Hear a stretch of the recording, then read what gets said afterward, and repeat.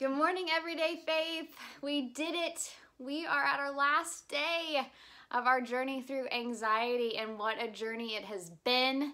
Um, thank you all for going on this this with me. I know sometimes it was kind of scary, kind of yucky, sometimes funny, but I just pray that um, you're able to to leave this month um, encouraged and equipped for any battles that um, are ahead of you. And that i honestly like I, that's what i really pray for for everyone going through this. And just remember you're going to have some setbacks and some stumbles but i hope that through this month you are able to um, get some great information get some new verses get some new action steps and plans so that you're able to battle with god and with all of us um, through your anxiety. So with that being said i'm going to read um, Day 30 benediction this is from Matthew chapter 6, verses 31 through 33.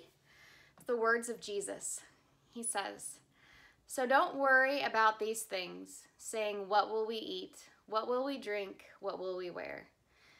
These things dominate the thoughts of unbelievers, but your heavenly Father already knows all your needs.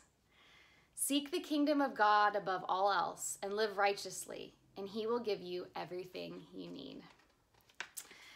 I'm victorious against anxiety through Christ Jesus. The Lord is for me. Anxiety cannot be successfully against me. Oh, I hope you all can yell that this morning as you know that you are victorious against anxiety through Jesus Christ. The Lord is for you, and anxiety cannot be successful against you.